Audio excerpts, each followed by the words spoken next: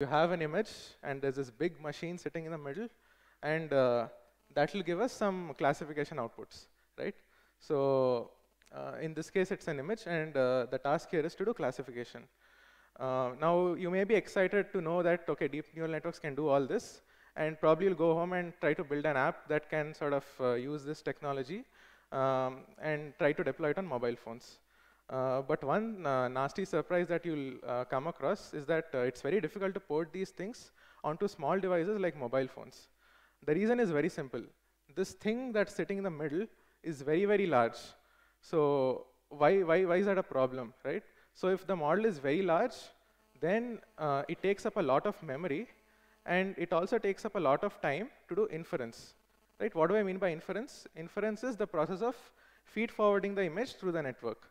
So inference time will be very large, and the memory taken by the network will also be very large. So although these networks work very well, they're really too big and they're too slow. Uh, the question is, how do you make them smaller? Right? So we call this problem as model compression. You take a deep learning model and you compress it. So why do we need compression? Because deep neural networks have a large number of parameters. So the network that you saw in the previous slide, that had about, uh, that took a disk space of uh, around 200 MB, which is really large for uh, mobile devices. And uh, it takes about three frames per second on, uh, uh, say, a mobile CPU, right? So it means that that big machine that you saw there, it can only process three frames in one second, which may not be the speed that you're looking for. Ideally, you would want something that is much faster than just three frames per second.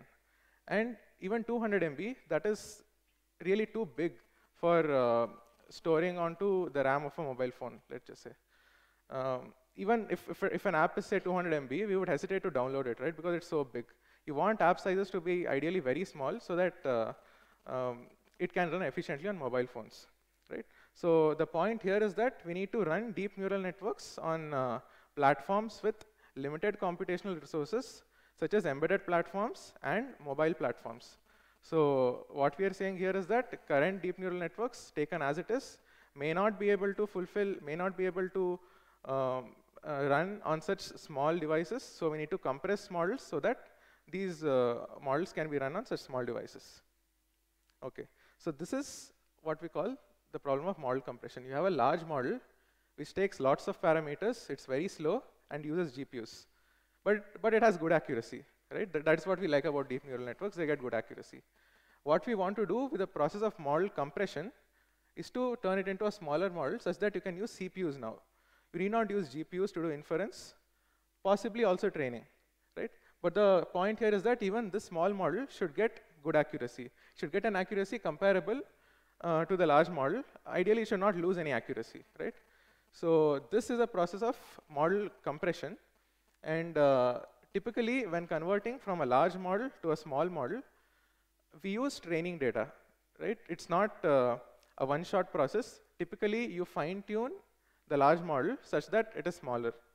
You, uh, in terms of an optimization perspective, you optimize this large model and say that the constraint is that the resulting model must be much smaller than the original model. Okay, so so now we know what model compression is, right? Just making a model smaller. So let's just look at what kinds of uh, layers are there present in a CNN. Um, so we have, we have come across convolutional layers and we have come across fully connected layers. Let's just assume that all neural networks contain these two kinds of layers, right? It turns out that uh, these two are almost opposites of each other. What do I mean by that? Uh, if, if we look at speed, for instance, it turns out that convolutional layers are very slow. They're very slow to infer, but they have um, very low number of parameters, so they take less memory space. On the other hand, fully connected layers are just the opposite. They are very fast to perform inference, but on the other hand, they take up really large amounts of memory. Right? These two are sort of opposites of each other. Uh, but that is good for us because if you want to make a network faster, just compress convolutional layers because we know that this is very slow. If you want to make a network smaller, just compress fully connected layers because we know that that takes up a lot of space, right? So we have two kinds of layers, convolutional fully connected. If you want to make a network faster, we uh, compress the fully connected layers. If you want to make it smaller, that is, make it consume less memory, then we uh, prune or uh, compress fully connected layers. Okay, so uh, we've seen all sorts of scary diagrams of neural networks. What I'll try to do in this talk is to work with this tiny toy neural network, right? So there are only uh, three uh, input channels here. It, it, means the input is a vector of just three numbers, and your output is just a single number, right? A very small toy neural network. And uh, there are four hidden, uh, there are two hidden layers, and four neurons in each of the hidden layers, right? A very simple neural network. And uh, these contain only fully connected layers, right? Uh, but you'll ask, what about convolutional layers? So what I'll try to do in this talk is to uh, just analyze these toy neural networks. But it turns out that whatever analysis we do on these networks can be extended to convolutional uh, layers as well, right? So I'll, I'll talk a uh, few things about these networks, but you can easily extend them to convolutional layers as well. So when, when we consider this toy neural network, uh, let us just take the thing in the middle here. Uh, these set of lines connecting these two uh, hidden layers, right? It turns out that you can write this as a matrix. It's a 4 cross 4 matrix because there are 4 hidden layers here and 4 hidden layers here, right? So, so far we are good. So all a neural network is doing is, all a neural network is, is just a bunch of matrices and all we do during inference is we do a bunch of matrix vector multiplications, right? So uh, what we are saying now is uh, the problem of compressing neural networks is the same as compressing these matrices. You have three matrices in a neural network here. I'll try to compress each of them, and that's how I will, I will compress the entire neural network, right? Okay. So uh, I just said we have to compress matrices, but what does that even mean? So suppose you have an n cross n matrix that will have n square entries, right? Uh, but uh, if n square is very large, what do we do? So that's where compression comes in. We have to design matrices such that the number of elements in the matrix is much smaller, right? So we have to come up with techniques that reduce the size of each matrix. So to do that, we will look at four uh, general techniques today, right? So these do not correspond to any one particular method or uh, any uh, very specific method, but these actually uh, talk about a family of methods which we can use to compress neural networks or compress matrices. Okay, so uh, we talked, uh, we said that we'll talk about four strategies. The first strategy is just to sparsify the matrix. What do I mean by sparsify the matrix? What do I mean by a sparse matrix, right? A sparse matrix is just a matrix with lots of zeros. So, I mean, so, so what, right? So what if it has lots of zeros? Uh, it turns out that if a matrix is very sparse, you can store it very efficiently. Uh, if a matrix has lots of zeros, it means that you only need to store those which are not zero, right? But, so it turns out that if lots of them are zero, then you only need to store those which are not zero. Uh, that reduces our uh, storage requirement. Instead of storing n square elements, you only need to store k elements, where uh, k is a number of non-zero elements in the matrix, right? And along with that, you also need to store the index, that is where it is non-zero. You need to store two things what is the value of the element in the matrix where it is non-zero and where is it non-zero.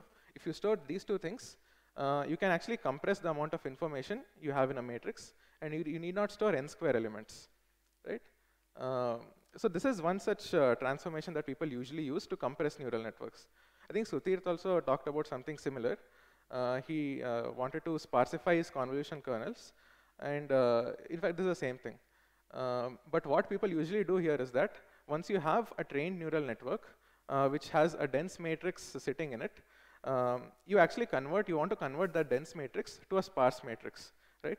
And the process of converting from a dense matrix with to a sparse matrix uh, uses data in the middle, right? So it's an optimization problem which takes into account data to create sparse matrices. Uh, so this is fine, but how does it look in terms of a neural network, right? So this was a hidden layer that we were talking about. There were four neurons here, four neurons here, and everything is connected to everything else. But when we have a sparse uh, matrix, we see that a lot of the lines here are missing. That's because they're all zeros, and we don't need to store them. So as you can see immediately, this is a much simpler neural network than this. And uh, this is much faster to evaluate. And it's also a lot easier to store as well. Right? So this is the first way in which you can compress matrices or neural networks. The second way, uh, which is uh, sort of the work that we have been doing in our lab, is to shrink a matrix. Right? So what do I mean by shrinking a matrix? You have a 4 cross 4 matrix. Uh, the question we are asking here is, can you do the same job with a 4 cross 2 matrix, or maybe something, another matrix with a much smaller number of uh, dimensions along any axis, right? So uh, this is, so to do this transformation as well, you use data. Uh, but uh, it's not immediately clear what this is doing. So we look at the neural network view. So you had this thing earlier. What we are trying to say here is that maybe you don't need four neurons here, maybe two of them will do, right? And if you can get the same performance with two of them, uh, you're essentially saving on memory. You're not storing 16 elements. You're only storing 4 into 2, 8 elements, right? And uh, uh, also inference is also faster, obviously. But uh, let's just, for a moment, think about what this means, right? You're actually selecting which neurons are important and which are not, which is analogous to selecting the architecture of the neural network itself right? So usually when you're uh, training a neural network, you'll decide, let me use 96 filters in the first layer, let me use 300 filters in the second layer. But then most of these decisions, they're pretty arbitrary. Uh, you just play around with something and you just stick with something till it starts working properly. Uh, but what we are saying here is that most of the time when you do that, you're actually having, you're actually creating an over-complete architecture. You are having more number of filters than is actually necessary. So what this process does is uh, it takes a neural network and it learns which features are important and prunes away the others, right? So this learns the architecture of a neural network. You can also use this to train neural networks from scratch. Uh, we have shown that uh, you can use this, these kinds of techniques to obtain minimal architectures. That is, it will only have the minimal number of neurons needed um, for the task and not anymore. Um, essentially what this does is uh, uh, we are actually select, uh, we are saying that uh, it, we give it the freedom to select architecture, but we say that if you have a choice, go for the smaller one rather than the larger one. So this is very effective in selecting small architectures, right? So along with compression, that is uh, uh, shrinking the size of the matrix, we are also implicitly selecting or learning the architecture of the neural network. So this is actually um, in contrast to some of the earlier earlier things we were seeing about AutoML, right? Where uh, we have to do a grid search to see how many number of neurons are ideally required, but this can learn all that in a single shot. Okay, so this is one way, and uh, another way, which is very interesting, is called, uh, okay, it's called breaking the matrix, right? You have a four cross four matrix, and uh, can I do something to the matrix to break it into two parts, right? There are things called matrix factorizations, which can uh, break a matrix into two parts or as many parts as we want. So, uh, so there are some general techniques which works for matrices and there are techniques which works for only uh, neural networks as well. That's what people have been working on. Um, so what do these do, right? So these basically uh, convert one matrix into product of two matrices. So if your matrix has some good properties like say low rank or whatever, then you will be saving on your uh, say your number of parameters. So this is actually very powerful in practice, uh, matrix factorization. And uh, if anybody of you like want to compress neural networks, I would suggest to use this first. And the last thing that I'll sort of touch upon is uh, quantizing the matrix. Very simple. You have 32-bit uh, floating point uh, elements in your matrix. Can I do the same with 8-bit floating point? So uh, it can you can do all kinds of quantization. You can do linear or non-linear. You can even make it binary. So all sorts of things are uh, present in literature. But then the catch here is that you need to have hardware to implement uh, any weird quantizations that you might have. Uh, in neural net view, it looks like this. Minus one is red, plus one is blue. Uh, your weight matrix becomes sparse, and it, it also has like two states essentially. It can either be plus one or minus one. And uh, this is what quantization does. It makes it easier to store and also make it makes it faster. Um, alternately, you can also go ahead and binarize the entire neural network. You, you, you don't say that, okay, my weights are binary. You say everything in your neural network is binary. right? What does that mean? It means that uh, instead of this, you do this, where your features are also binary. This sort of like saying uh, all the features that my neural network computes will be binary, and all the weights are doing is uh, transforming one set of binary codes to another. Right? So it's just a code transformation that's happening. So turns out this is this is extremely effective. This provides a 58x speedup. This is like really, really crazy. So 58x is like the first time this caught people's attention, but then it loses a lot of accuracy. So people are sort of uh, researching more on this. So I'll just uh, summarize what all we have seen till now, right? We talked about fully connected layers, and we said that if we compress fully connected layers, we can make networks smaller. We talked about convolutional layers, and we said that if we compress convolutional layers, we can make networks faster. And we saw four general strategies to do this.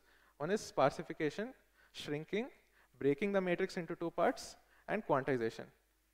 And needless to say, uh, instead of applying, say, uh, individually, you can also, uh, I mean, apply them all together, as in you can apply sparsification and shrinking and breaking. That'll give more and more compression, right? So, okay. So this was about the talk, but what next, right? So have we solved the problem of model compression? Far from it.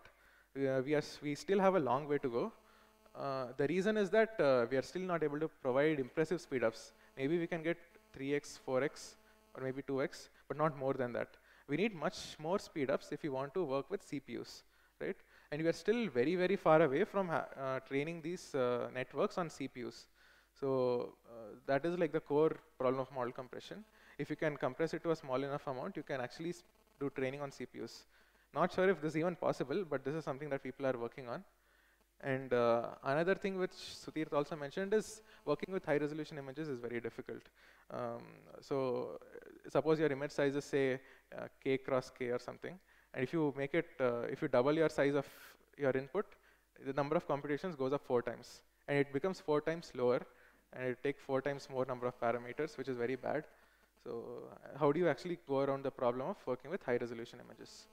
So these are all very hard research problems. Um, so those of you who are uh, looking to work on any problem in neural networks, maybe you're new to neural networks and you want to maybe pick on some research problems, I would suggest that uh, you can maybe start with model compression because this is one area which which, which can have a lot of impact on the way deep uh, learning is sort of done in the industry. It, it, it impacts a lot of people actually, uh, these kinds of model compression technologies. Uh, so I'll stop here. Yeah.